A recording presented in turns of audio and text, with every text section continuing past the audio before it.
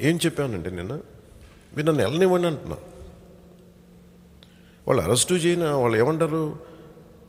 మేము ముందుకు వెళ్ళనివ్వంటారు. అప్పటికి మూడు కిలోమీటర్లు లోపలికి చొచ్చుకుంటూ వచ్చాం. వాళ్ళు వెళ్ళనివ్వరు. నేను చెప్పాను మీరు ఏంటి అరెస్ట్ చేస్తారా? అంటే కూర్చోబెట్టి వాళ్ళు ఏమన్నారంటే మీరు అరెస్ట్కి సహకరించమంటారు.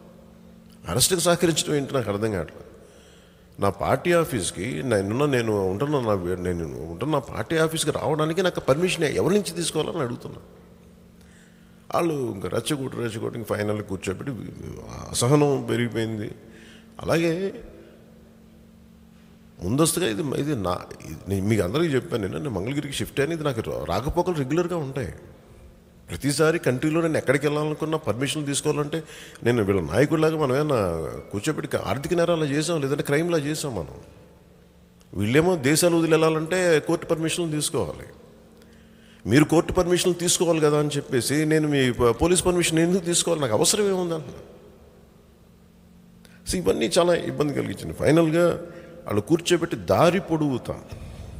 దారి పొడుగుతా మన పార్టీ మద్దతుదారులు కానీ జన సైనికులు కానీ మన నాయకులు కానీ అసలు అలాగా పార్టీకి సంబంధం లేకుండా ప్రజల స్పందన ఆడపడుచులు మహిళలు పాప చిన్నపిల్లల్ని వేసుకొచ్చి దారి పొడవున వేలాది మంది అర్ధరాత్రి రెండున్నరకి మూడున్నరకి దారి పొడవున వచ్చి వాళ్ళు మద్దతు తెలిపిన ప్రతి ఒక్కరికి మనస్ఫూర్తిగా నా కృతజ్ఞతలు తెలియజేస్తాను మనస్ఫూర్తి ఎందుకంటే ఇది దారి పొడున్న యువత బైక్స్లో వచ్చేసి మేము తప్పు చేసామన్నా వీళ్ళని ఎన్నుకొని నీకు మీకు నీకు నిలబడ్డందుకు నీకు నిలబడినందుకు నిన్ను ఈరోజు తీసుకొచ్చి పోలీస్ జీపుల్లో వీళ్ళు తీసుకెళ్తా ఉన్నారు. నువ్వేం తప్పు చేసావు సమస్య ఎక్కడ ఉంటుందంటే మనం తప్పు జరుగుతున్నప్పుడు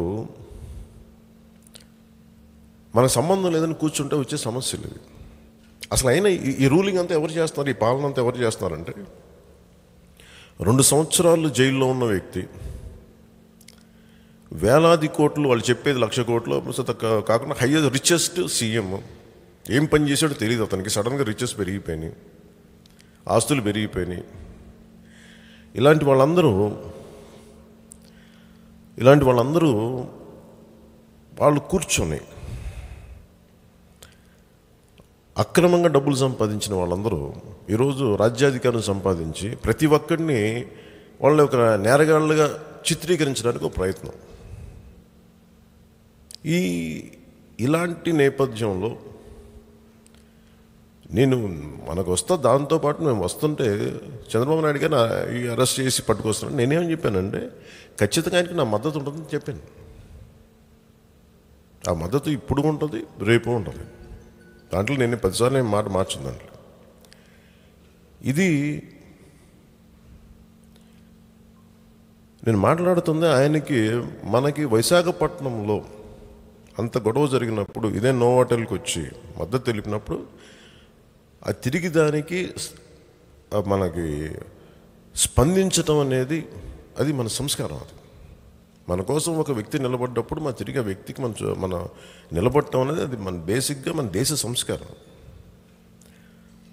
సో దాంట్లో భాగంగా నేను చెప్పాను వారికి నా మద్దతు ఉంటుంది అని చెప్పాను అంత మాత్రం నేను డైరెక్ట్గా వెళ్ళిపోయి నువ్వు సిబిఐ కోర్టుకి వెళ్తావు అనేది వాళ్ళే ఊహించేసుకుని మాకు ఇంటెలిజెన్స్ ఇన్పుట్ ఉందని చెప్పేసి లేనిపోని ఒక ఆరోపణ చేసి law and order situation create చేసింది వీళ్ళు వైసీపీ వాళ్ళు.